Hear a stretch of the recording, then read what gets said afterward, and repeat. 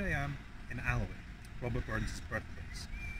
The house that Robert Burns lived in was built by his father, William Burnes. Robert Burns was born on the 25th of January 1759. The family initially lived here, but as times were hard, they had to move to Mount Oliphant Farm. Now it was there that Burns fell in love with Nellie Kirkpatrick, which inspired his first attempts at poetry.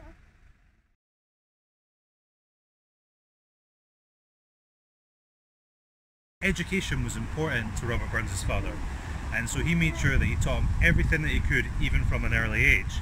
And then, after he taught him everything he knew, he sent him off to John Murdoch, um, who taught him Latin, French, mathematics. This is a Tarbolton Bachelors Club. Robbie Burns was a member. He was also elected president and helped write the rules and regulations for members. Um, he learned to debate in Scottish country dance here, much to his father's disapproval. Now it was also here in 1781 that Robert Burns was initiated into the Masonic Lodge of St David's.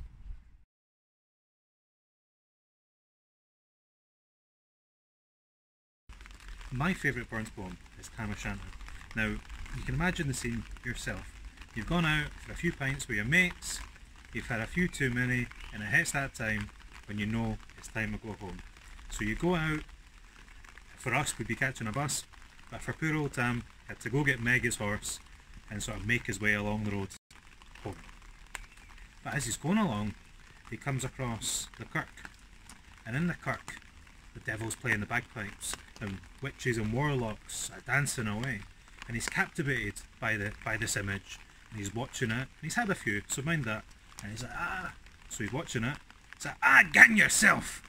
And all the witches and warlocks turn round, and they see him looking at them, and they start making after him. Tam, what the hell did I do? So then he, hit, he hits poor old Meg, and he gets going, and it's on this bridge that one of the witches comes along and rips right off poor old Meg's tail. Now, the lesson to be learned are two. First, if you believe Tam, be careful of witches and warlocks and all things mystical. And if you didn't, well, the lesson is be careful when you're drinking ale, because good ale doesn't make for good decisions.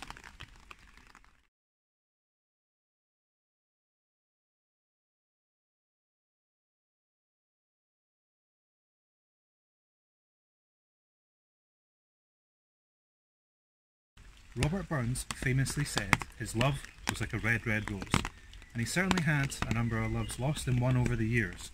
Now, as a result of some, some of those relationships, he had 12 children. The first was when he was at the tender age of 17 to his mother's servant, Elizabeth Paton. Now, when trying to be persuaded to marry the poor girl, he said that he simply couldn't marry her as he did not love her. But within the year, he did meet the love of his life, Jean Armour. Now, he met Jean and they started a relationship. Now, as a result of that relationship, she's got, got pregnant. Now, Burns actually did want to marry Jean, but her father said no and sent her off to Paisley.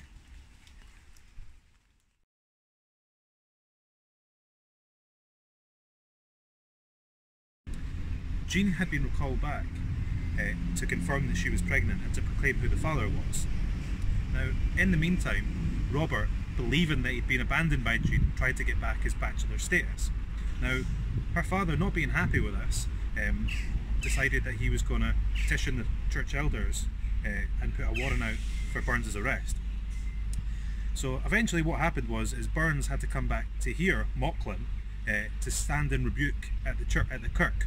Now this would have entailed basically lots of sermons um, and him being called a fornicator uh, and just, you know, sin and hell and damnation be upon you and that. But after he'd done it for three Sundays, all was good. Robert Burns found great success. He managed to get managed to get his first set of papers published. Now these are called the Kilmarnock papers. Now really it should have they sold out and it was a tremendous success. It really should have made a second printing of it.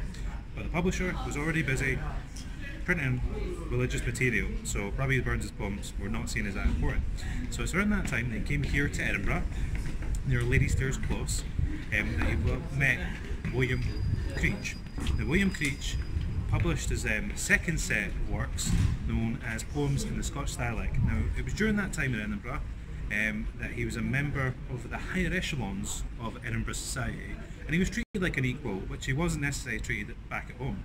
He was treated an equal here, and he was invited to all the parties and everything. Now, during that time, he actually met a young Walter Scott who was at the age of 16 years old. But all this highfalutin wasn't meant to last, and he got a letter from his brother who said that Jean Armour had been thrown out by her father. Now, Jean Armour, love of Burns' life, so he had to go back. When he went back, this time, he married. Now, the reason for this is that due to Burns' higher stature as a renowned poet, her father eventually let him marry her.